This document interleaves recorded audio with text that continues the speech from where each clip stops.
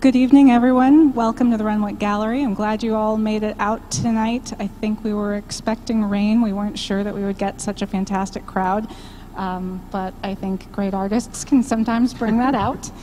Um, so, uh, tonight is the last program that we're actually having uh, associated with the Wonder Show. It's kind of a sad day that all of this is about to come down, but uh, in about a week, we're going to reopen the permanent collection. It's going to be fantastic to see. I hope you all come back for that. Um, in the meantime, um, I am delighted tonight to have with me Gabriel Dawe. Uh, Gabriel is the artist who created uh, Plexus A1, otherwise known as the Rainbow Room downstairs. um, I think that piece is probably one of the real favorites from this exhibition. It's really blown people away. I know it's blown me away. Um, so I'd like to tell you a little bit about Gabriel. We're going to have a very um, informal conversation here, probably talk for about 40 minutes, and then we'll invite audience, audience questions. Um, and Gabriel, you're set up with some slides if you want to talk a little bit about some of those along the way. So, yeah. a little bit about Gabriel while we get the rest of our setup going here. Uh, our guest this evening is Gabriel Dawe. Gabriel is originally from Mexico City, and his work centers on textiles, often examining complicated construction of gender and identity in his native Mexico. He's been featured in several publications, including Sculpture Magazine, on the cover of the 12th edition of Art Fundamentals, published by McGraw Hill. That's a pretty cool feature. Um, and Tristan Manco's book, Raw Plus Material Equals Art, and his work has been exhibited across North America and in Europe. He earned his MFA from the University of Texas at Dallas, and he is currently living and working in Dallas. So we're extremely excited to welcome Gabriel. Um, and are you are you on now, Gabriel? All right, I may just pass the mic to you then if that works out for you. Okay. Gabriel, I thought we would just start out a little bit. I know that uh, some of your work, very much of your work, seems to stem from early years and your boyhood experiences in Mexico. So I thought it'd be nice to start at the beginning. Sure. Um, so, my undergrad uh, degree was in graphic I uh, loved it. Loved it. And until the day came where I didn't. And um, I had a burnout, and I decided that's it, I'm going to become an artist. And very naively, I, I quit my job, and I thought I was going to be able to make a living off it right off the bat. And um, I spent that first, that I, I, spent one year without working, and uh, I started doing experiments with collage, paint, um, and sort of trying to find my way. And uh, I had a few shows, but uh, it, after well, after a year, I had to go back to work and uh, come to grips with reality that I had to find um, a job, and uh, it would take longer. And um, so after a couple of years of doing painting and collage, I had this recollection of a childhood frustration, and um, that was that my grandmother would teach my sister how to embroider. Uh, uh and she, um, she would so she would teach my sister how to embroider, but she wouldn't teach me because I was a boy. And um, my mom sort of was the black sheep of her family, so she was very liberal in a way. But because she worked, uh, we spent a lot of time with my grandmother, and so my mom's family was pretty conservative. Um, and uh, you know, girls are in the kitchen, and boys uh, don't cry, and they don't sew and they don't embroider. Um, and so I recall that, that, that frustration as a child because I really wanted, and I remember stealing thread and trying to do my own thing uh, when I was a kid, and uh, and then I guess I grew out of it. But uh, when I was sort of in my late 20s, I decided to teach myself how to embroider, and that's how it all started. Uh, the very first thing I did was I don't have an image, unfortunately. Um, it's in storage in Montreal, and I haven't been able to get it, but it's um, it's a piece that kind of looks like a mandala, but it's supposed to be a pornographic image. And it was this sort of rebellious act against my upbringing. Um, I did not. I did not. However, she did see later work of later of my embroidery work. Uh, at least images. I don't know if she ever saw it in person. In person. So, what do you think it was that drew you to embroidery? Um, I guess the uh, the meditative quality to it. Mm-hmm. Um, yeah, I don't, I, I, don't really know how to answer that uh, actually. Uh, what do you think it was as a child that you thought was was it the, the prohibition of it? Probably, partly, it was that. Mm-hmm. Um, but I think there was something about the process that really captivated me. Interesting. Um, just the, uh, the, the detail-oriented type of activity that um, ends up in this whole that's composed of very tiny little bits. Mm-hmm. Um, I don't know. I think it, uh, most. I think mostly it was the process. Okay. Um, I thought you could share some of your early work with the audience, yeah. but I also know that you have one of the pieces here that seems to have a relationship with one of the other artists that was right. in Wonder, uh, Jennifer Angus. So I'd love to hear you talk a little bit about that. Yeah, so uh, this was the Fear series, which in a sense is kind of the culmination of the embroidery work. And when I was in, I was living in Montreal, um, I had decided to become an artist, and I went to Toronto and I saw Je uh, Jennifer's show at the Textile Museum. Uh, and it was, I mean, it was a really big show. Uh, it was probably like if she had done the whole upstairs here. Um, and it really blew me away. Um, it, I, I, think at the time I was started, I, I was starting to do embroidery uh, already, uh, and still doing collage, but um, it kind of really changed my perspective of what art could be. Um, so yeah, I was really stoked to actually meet her. And uh, yeah. so you were starting out doing collage and painting and that kind of work, and then you started to move into the embroidery pieces, and then you started to move into more three-dimensional works, like the piece that you have on the screen, or the next slide up that you have on the screen. Yeah. Um, so I went to grad school, and grad school I started experimenting with um, with uh, 3D work, and I, I, think one of the tasks um, that a specific course was uh, it, it, was about sculpture and um, translating what I was doing but into sculpture. Um, at the time, I was a little obsessed with uh, Gunther Uecker, uh, the group Zero, um, German group from the 60s, and um, it somehow,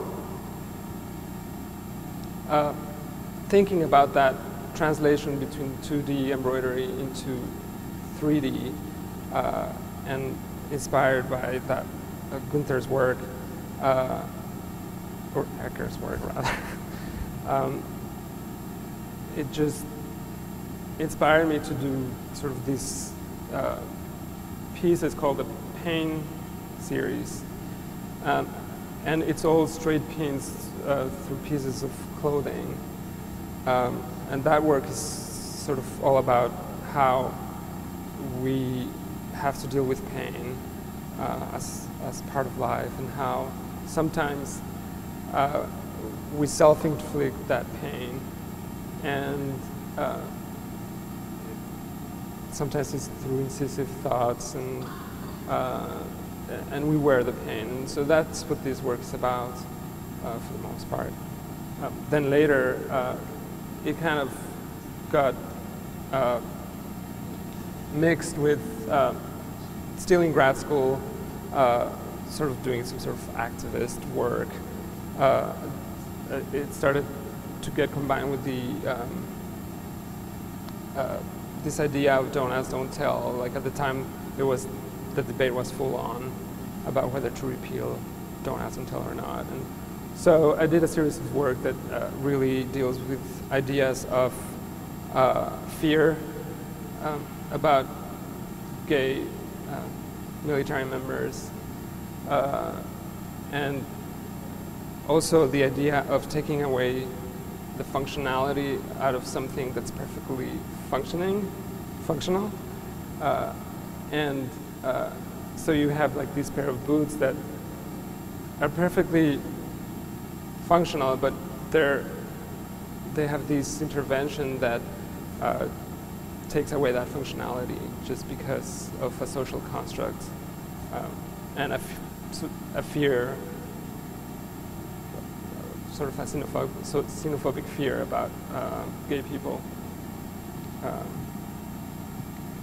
so I'm sort of fast forwarding ahead a little bit to ask this question, but um, in your early work with the embroidery, you were talking about uh, remembering those moments that you were not allowed as a child to be uh, embroidering because you were a boy, and then you have this work that's also dealing with gender issues. Do you feel yes. like that's something that's still consistent in your work? It seems like some of the earlier works were a little bit more angry, social, and we've come to this beautiful, happy place. So, um, I think it is in a very subtle way, just because I'm still using the same material.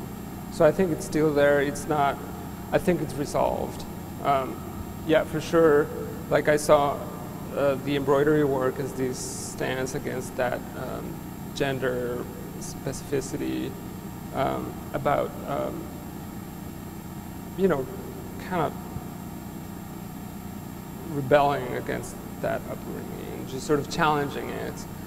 And uh, when it moved into the Don't Tell pieces, it kind of went from the personal to the social, I guess. And uh, it it it, uh, it just uh, I, guess it was a way of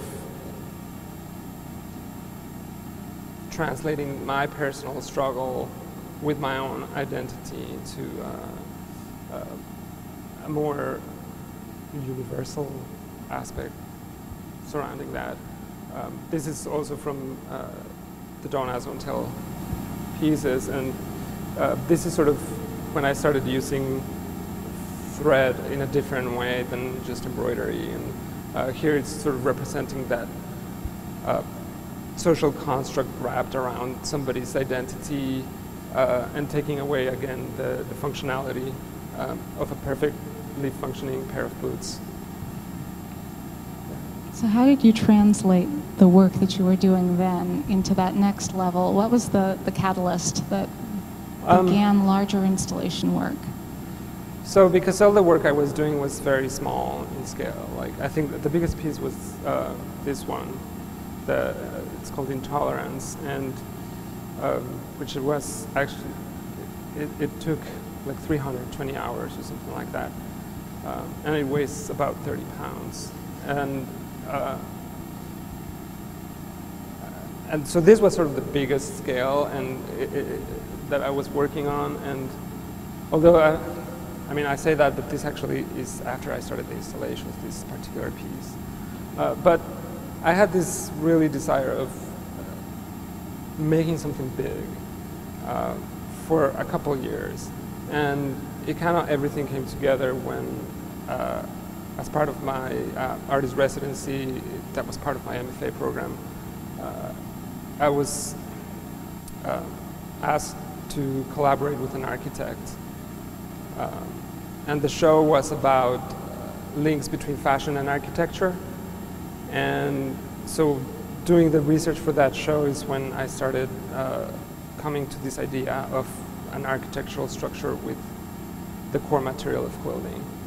And that's how it started, and it was just a really big experiment. At the beginning, I was um, at the studio at the residency, and I had this big wall, and I was like, well, what would happen if I just string this? And I th- this is a video. I don't know if it's gonna play, but let's see. Yeah.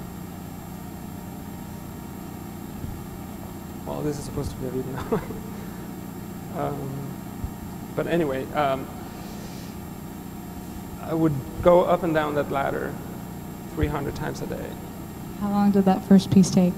Gosh, um, it took, I think all condensed, it was like if I had worked for five weeks in a row, like daily, it was five weeks. Um, it was done over a period of, I think, three months. Wow. And then that Yeah. series, was that piece called Plexus? Was that part Yeah, of so the- that, this was the first piece, and uh, it became Plexus number one. Um, when titling work, I'm, I don't, it's always a struggle to find the right name for me. It's, uh, so I decided uh, to find one name and serialize the work. And uh, I decided to name this work Plexus because uh, plexus is a, a network of vessels in the body or nerve endings. And these pieces are very much so like a network of, um, of thread. And it, uh, I, I thought it fit, re- fit really well, and it was sort of like a little bit of Latinized thing going on. And uh, so I settled on plexus, and this is plexus number one. Um, and it, I mean, it was just a big experiment. I didn't really know what I was doing. Um, I like my partner was really scared I was going to fall off the ladder. so um, he was really concerned.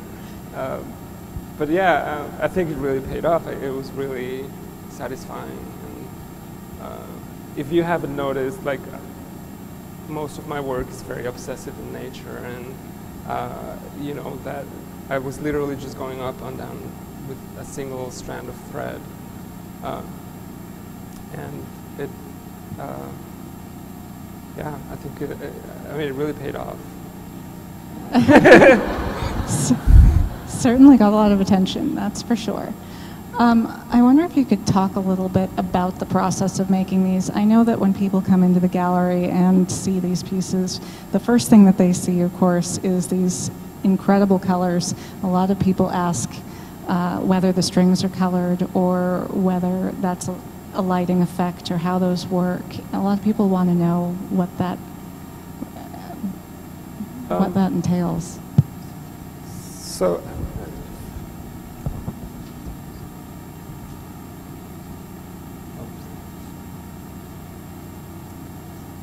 No. Is there, you know, if there, is there a way I can, it's a video. Is there a way I can make it play?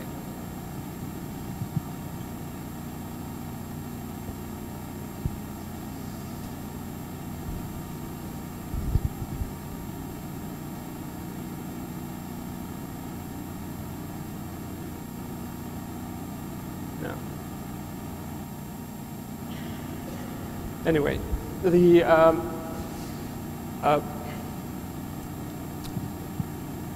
there's uh, the gallery that now represents me in Dallas. Uh, they have Conduit Gallery. They have a, a project room, and uh, the person who curates that that room, she saw my installation in, in my studio, and she saw the collaboration with the architect, and uh, so she gave me a show uh, in the project room, and uh, the only issue was that I only had one week to install. Um, and I mean, this piece was kind of slightly bigger than the one I did in my studio. So I was like, oh, sure, I can do it. um, and I had to come very fast. And, you know, it was going to be like in nine months or something like that. And then she called me and was like, how about next month? We had a cancellation. So I was like, sure. Um, Mother of invention, of course. um, and, I, you know, I had to be streamline. Right, and I had to make it, uh, I had to come up with something to, to speed up the installation process. So, uh, yeah, I'm very proud of my ingenuity. um, I developed this tool that kind of works like a giant needle. Um, so I just, in a space like that piece, um, I just stand on the floor and uh, just take the thread to the ceiling with this extension pole, and um, that's, uh, I mean, really fast. It's really fast. Uh, I think you worked with an assistant here for this. Yeah. Um, so I think, um, I mean, one of the the things that um, I'm really happy about is that now I'm able to pick and choose the the the projects I take on, and uh, they're sort of becoming more and more. Um, what's the word? Um, uh, oh, what's the word? Um, they're ambitious. Um, so, like a space like here uh, downstairs, um, I had to work with two people, um, and I had to, I have to work with lifts. Um, and sometimes I have to work with two lifts. And uh, so yeah, and working with uh, another person, uh, it fasts. Not a verb. Sorry. But um, it, it, it, speeds up the, the process. So actually, tell me about the the exhibition here. Mm-hmm. Um, how did Nicholas contact you? What was the first indication about this show? Uh, I got an email from Nicholas, and I was like, the Renwick at the Smithsonian? Like, really? um, I, I, was really excited. Um, and I, I, knew it was not, um, I mean, the way I was approached was like exploratory, was not a done deal, but it was really exciting. Um, I later found out who the people I, I, I was going to be showing with, and that was even more exciting to me. Um, and uh, he asked me to do a proposal. He, he asked me to come. I did a site visit. He asked me to pick up a room, whichever I wanted. So I picked up one. He was like, "Well, that room is taken, so you have to." so it's always a process when you're putting together an yeah, exhibition. Yeah. Um, but um, so he gave me that the room downstairs, which was kind of like the the room I was avoiding. Which what's, what's interesting is, of course, we knew that was the room that you were avoiding, um, but in this gallery, there are such quirky rooms, and there were only a few artists that we thought could actually fill those rooms. That back gallery downstairs that had Patrick Dougherty, and it was a massive space, and we thought that was the right gallery. And we gently suggested to Patrick that he take that one. And we gently suggested. Gabriel was so kind to us that he yeah. said yes, but um, essentially, in the end, I think that gallery really collaborates with your work. Oh, your work is yeah. perfect for it. And it's, it's interesting that it was the gallery that you didn't want. Yeah. uh, yeah, it, it, definitely paid off.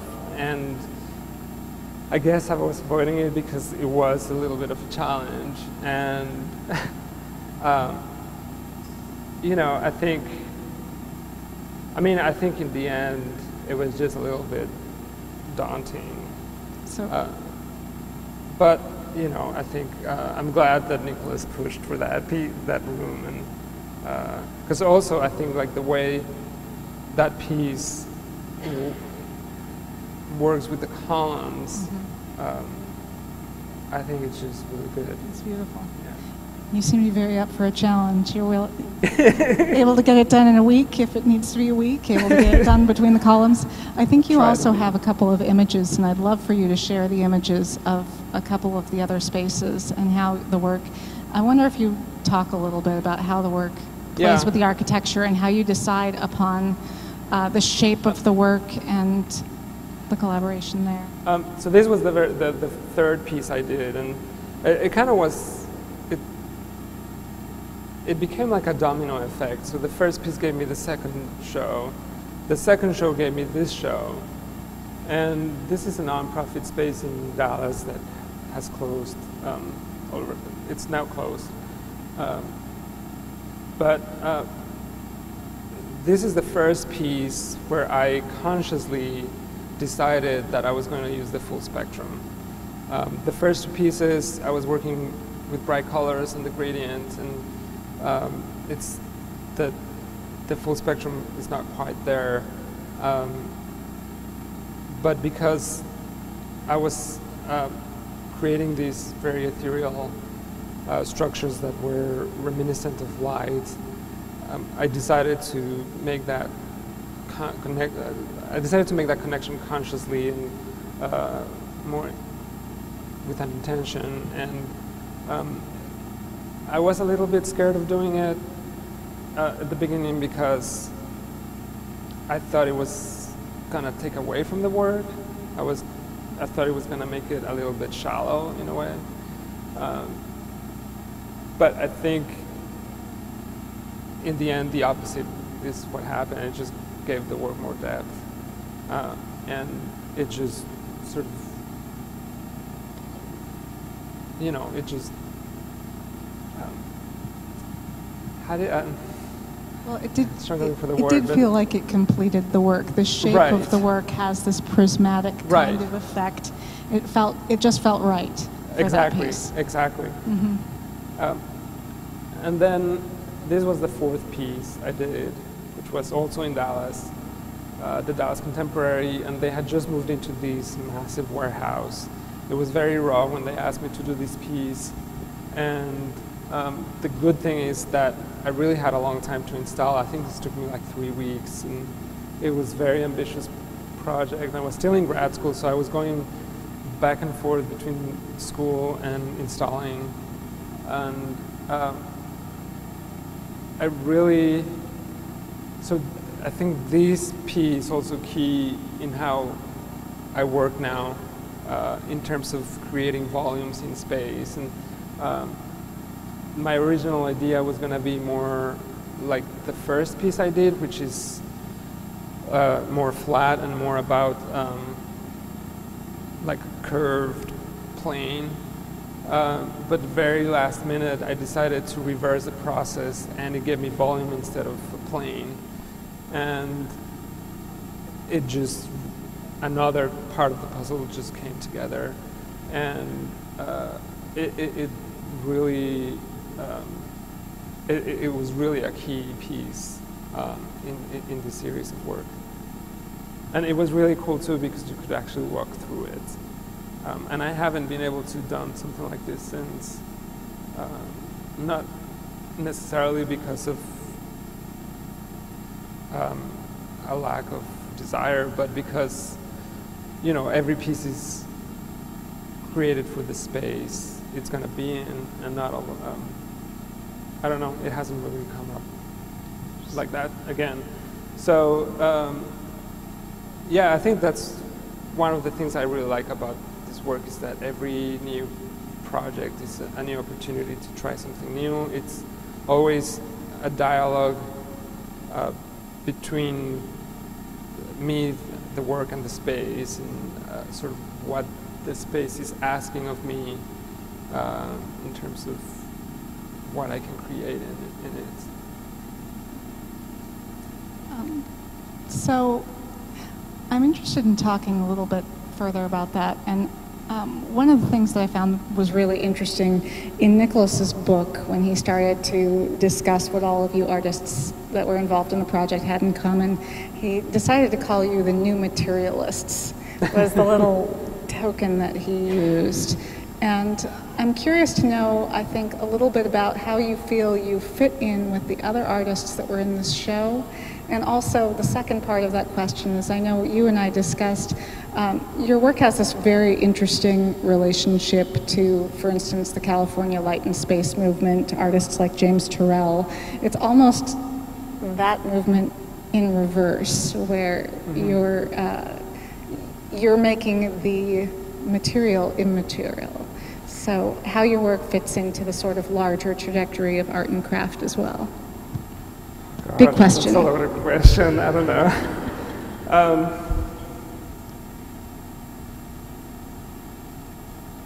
I'm not sure how to, how to answer that. It, it, I, um, I do see the relationship with the art and space, uh, the light and space movement. Uh, and like you said, I think I'm coming from the opposite direction. Like they're coming from the direction of light, sort of trying to, in a way, materialize light. Mm-hmm. And I'm doing the opposite. I'm sort of with material, I'm kind of trying to create light mm-hmm. um, in a somewhat artificial way. Uh, I, I mean, I don't know. I, you know, I, I mean, I'm struggling because it, the light, the light and space people, artists are so canonic. And it's been mentioned before that there's a relationship there with my work. And to me, it's a little bit like intimidating. Uh, mm-hmm. Uh, and uh, I don't know, I, it, it, it, just to ponder that uh, affiliation, um, it's a little bit mind blowing. Um,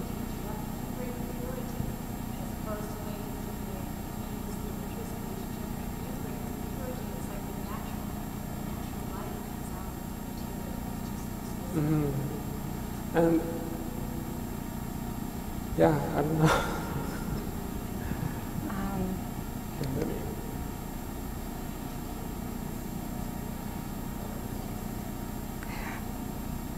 so, a couple of people have also already mentioned tonight um, how much they love the piece that's in the gallery, mm-hmm. how much they're going to miss it when it's gone. Yes.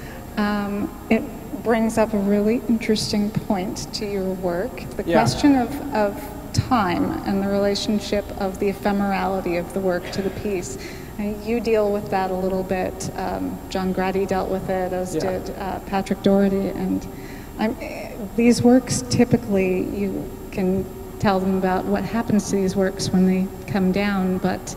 Um, it, well, I think it becomes some sort of meditation on life and death. Mm-hmm. It, it uh, there's very few pieces I've been sad of them coming down. Um, and for the most part, are pieces that I've had more uh, of a relationship in terms of time. Like the one in my studio was really hard to take down. Um, it, it, I, you know, it, it, it's always been a, part, it's part of the work, and uh, they come down and they become what I call a relic. Um, and they kind of become the opposite. They become dense instead of ethereal, and they become organic instead of geometric. Mm-hmm. Um, so it's that metaphor for you know life and life after death, or life and death. Yeah. Um, I I think we'll see photos of those relics, um, I think, later, right? Yes. Um, yeah, and I mean, and there's permanent pieces as well, so I think uh, the work can, you know, live longer, uh, which is nice, and mm-hmm. I have a few of those. And, um, hopefully, I'll have more. Mm-hmm. But um, And you know, I, I think they, it, it, has its own beauty when they come down. It's just that uh, the draping of it. Like some, sometimes I display those relics with just a cascade of color. Uh, it really, it, it, it, it has its own beauty. So, you know, it's, it's, it's what it is. Yes. Um, Yeah. Well, we have just a couple of minutes left. If you'd like to show a couple of the relics and a couple of the other Yeah. pieces, I think that'd be wonderful. This, uh, this piece you can still see if you go to Provo, Utah, at the BYU Museum of Art. It will be there until the end of the year. Um, and it's pretty dramatic in terms of sort of light flushing in. Um, This piece was at Virginia MOCA, and that was in 2014. For some reason, 2014 was the year of the circle, and I did a lot of curves that year. And that's also one of the things I like about doing these. Like, there's been an evolution to the work, and um, certain themes emerge. Um, and right now what I'm starting to get into is that deconstruction of the spectrum. So that's going to start appearing at sort of the end of the year. Um, so you have to follow me on Facebook so you So- can see. Or- What are your upcoming projects? um, right now I'm, I'm in the middle of an installation at the Amarillo Museum of Art, which I'm really excited because um, it's, um, sorry, Amarillo Museum of Art in Amarillo, Texas.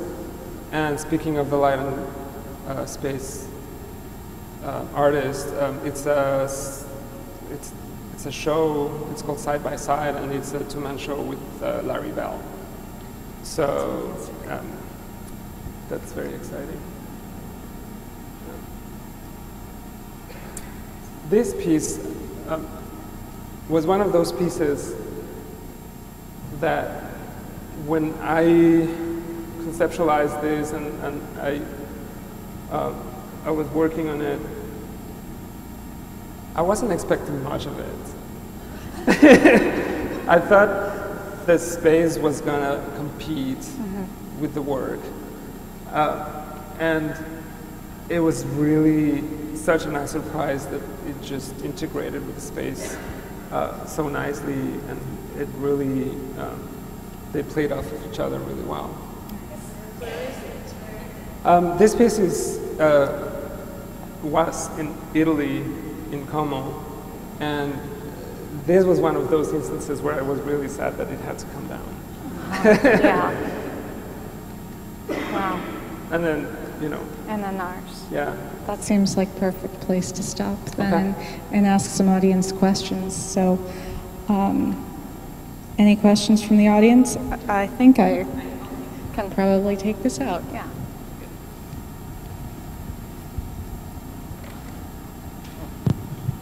Uh, This is just a practical question. Where do you get the string? Uh, Where do you get the equipment? How do you get it brought in? I mean, this, it just, it's a, you know, it's an architectural, des- mechanical, it's a mechanical wizardry. So they're all installed on site. So the thread comes in a box, you know, this big. Um, they're in spools, and when I first started doing this work, I was just get it at the craft store, like just the biggest spools I could find. Um, and then I started our relationship with the company. Um, I use um, Gutermann Thread, and they, at the beginning, they really supported me. Um, and I use their industrial line now, uh, which is slightly thicker and it's it's less fuzzy, so it's more. It's polyester. Yeah. Next question.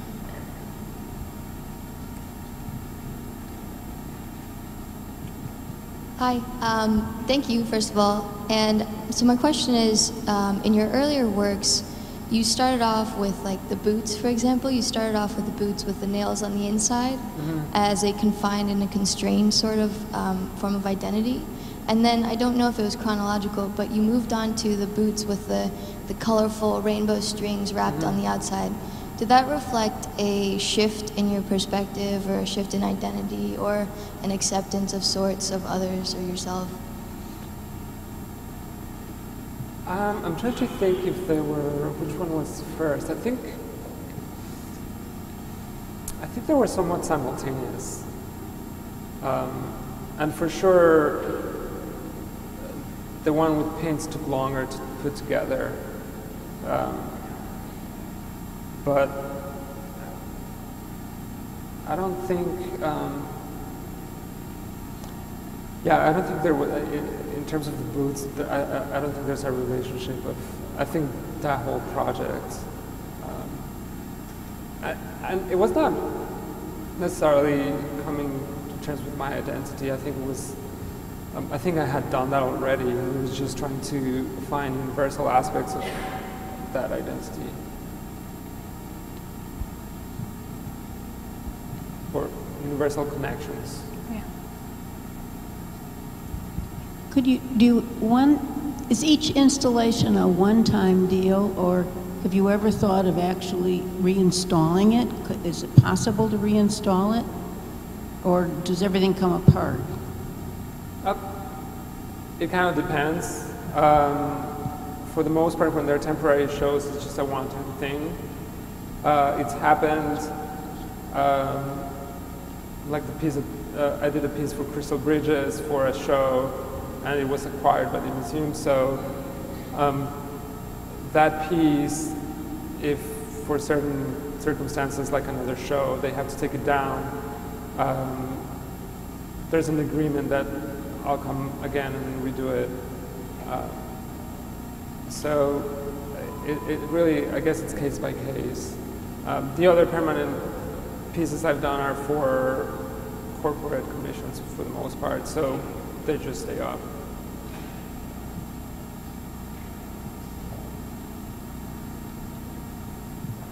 First of all, thank you so much for speaking with us, and your work is really incredible. Um, I had a question in terms of your process and, visual, and visualization. Um, have you found now that you have made so many pieces like this um, that you're able to get a sense of how it will look with the light and the transparency, and how the colors will interact? Um, do you test it? Do you find yourself surprised by the outcome? Um, So for several years, I didn't have a studio, so I didn't really get to test anything. Uh, so each piece was really, and it still is like each piece I'm trying to push what I do and try to find new things to, uh, or try to explore new ways within the work. Um, there's, for the most part, there's always something new in each installation um, that surprises me, and that's sort of what keeps it interesting to me. Uh, and I, you know, it doesn't bore me because I'm, uh, you know, there's always little things I can change to get a different effect or, uh, you know, explore in different ways. And uh, now I do have a studio and I do get to test things out, which is, it, it's nice. Um, and, uh, but yeah, I don't know if that, that answer fully. Thank you very much. Uh, my question follows on. I'm looking, pretending this wasn't here and envisioning you standing there, and I guess I was wondering how do you feel or sense the environment that you're going to create in? And now that you have a studio, do you make mini mock ups of your rooms so Yeah. that you could, you know, put, you know, as you say, test? Yeah, I, I don't really do mock-ups. I've done, I think I've done two mock-ups. Um, I when I try things now in the studio, for the most part, are either variations on what I'm envisioning for a specific piece, or just trying an idea out, um, trying a material out. Um, it, uh, I've shied away of making mock-ups because uh, I think, I mean, I think what, and that follows up that previous question. It, it I really like that sur- surprise. If I do a mock-up, it kind of takes away of the possible surprise in the space.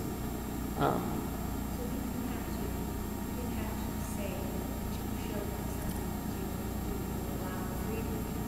Well, I do. Uh, I did show them a drawing.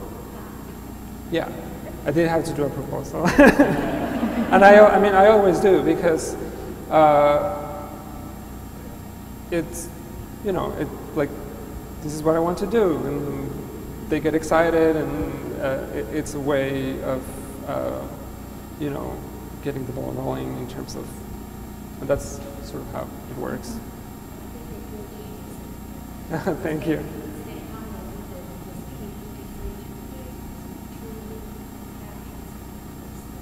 Thank you. Hello, thank Hi. you to you and to the Renwick Gallery for this wonderful talk today. I noticed that you talked a lot about how your piece interacts with the architecture and how you conceptualize it uniquely to the place that you're working in. However, one of the major things I noticed about your work downstairs was how the viewer interacts with it. People love to walk around and look at where the strings go, and no matter where you're standing, the light changes and the shape changes. So I was wondering if you could talk about when you're conceptualizing the piece, does the viewer come into account of what you're going to do? Do you think about how the viewer will walk around the space and how they will look at it? Um, I think mostly there's a pragmatic um, thinking in terms of how people are gonna uh, access the space and uh, sort of move around the space.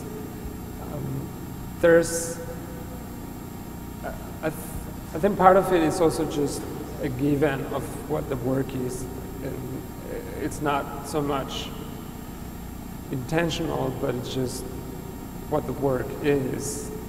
Um, there is this sort of thinking uh, of how you know people kind of have to dance with the piece, um, and I do think that that is some sort of um, parallel as to how we navigate life itself and how we have to. Um, navigate social constructs. And in that way, I think the work connects with that earlier work about uh, social constructs. Because we're in a constant dance with these constructs and we don't even notice. It, it's very natural to us. Uh, but um, and uh, there's this quality also about the work that's very, it's almost like kinetic. And uh, without it moving, it, it, it's like kinetic work. And uh, that really captivates the eye, and uh, I think that's what people really enjoy interacting with, that aspect of the work.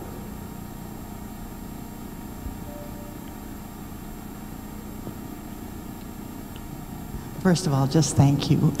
Thank you. but I was just struck by your the creativity, you know, to do this sort of thing, and and yet it strikes me as awfully boring. To, you know, I mean, these little things, and I in your movie down there, I could see you going up and down, and you Yeah. talked about that before. But that's kind of a is that somehow balances out and, and you know meets your needs? Um, It's funny. So I think there's, um, I've noticed some sort of pattern with all installations where there's an uphill battle the first few days. Um, and, you know, you get into a rhythm. So it's not boring. It's not, I, I don't think it's ever boring. It's just, it can be a little tedious at times.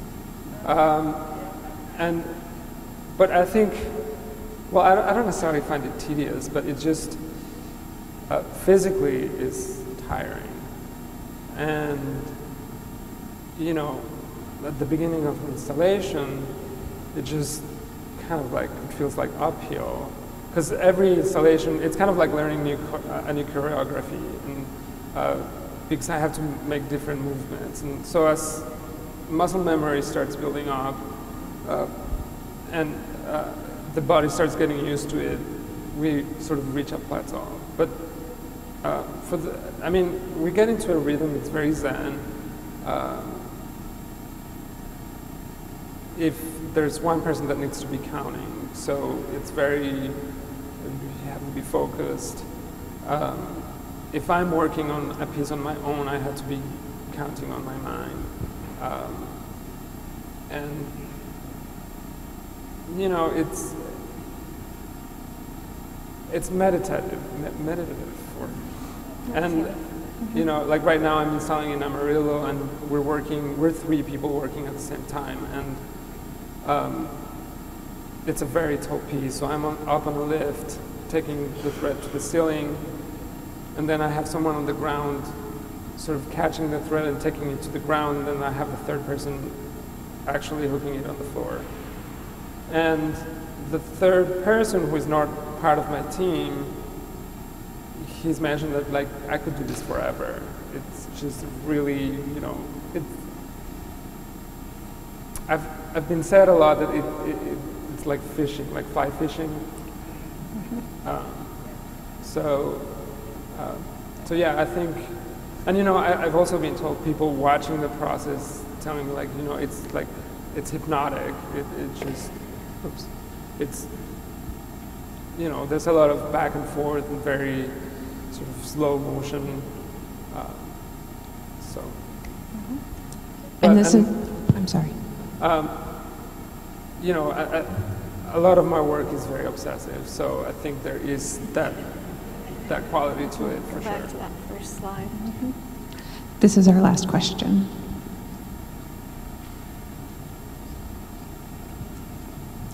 Uh, you touched on the uh, idea of kinetic sculpture.